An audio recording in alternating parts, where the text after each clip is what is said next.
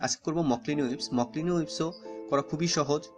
সাধারণত এর repeat size হয় ইভেন নাম্বারের তো মকলিনি উইপস কীভাবে করব? আমি ছোট্ট একটা রিপিট সাইজ নিচ্ছি সিক্স ইন্টু সিক্সের তো এরপরে সিক্স ইন্টু সিক্সের রিপিট সাইজকে আমি চার ভাগে ভাগ করে দিয়েছি।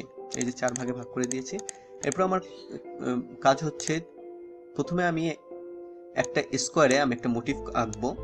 তো এই যে আমি একটা মোটিভ ড্র করলাম। এরপরে কাজ হচ্ছে পাশের স্কোয়ারে এই মোটিফের রিভার্স করে দিব। অর্থাৎ যেখানে আপ আছে সেখানে ডাউন দিয়ে দেবো, যেখানে ডাউন আছে সেখানে আপ করে দিব। অর্থাৎ এখানে ডাউন আছে তো এটা আপ করে দিলাম, এটা ডাউন আছে তো এটা আপ করে দিলাম, এটা ডাউন আছে তো এটা আপ করে দিলাম, এটা ডাউন আছে তো এটা up করে দিলাম। হ্যাঁ এখন কাজ হচ্ছে এই মোটিফের মতো করে এখানেও তার কর্ণ বরাবর যে স্কোয়ার আছে সেখানেও সেই মোটিভটা করে দেওয়া সেম টু সেম এবং এখানে যেরকম ডিজাইন করেছি, তার কর্ণ বরাবর ঠিক যে স্কোয়ার আছে সেটাও সেরকম ডিজাইন করা। এই করলে হয়ে গেল আমার মোটামুটি মকলিনো উইপসের রিপিট ইউনিট তো এটাকে যদি আমি এক্সপেনশন করি, এই রিপিট ইউনিটটাকে যদি এক্সপেনশন করি, তাহলে আপনারা দেখতে পাবেন যে এটা অ্যাকচুয়ালি একটা ফেব্রিকে কি ধরনের অ্যাপিয়ারেন্স দিচ্ছে। মোটামুটি এই ধরনের একটা অ্যাপিয়ারেন্স দেবে। তো এটা ড্রাফটিং হবে এই ড্রাফটিং হবে এরকম।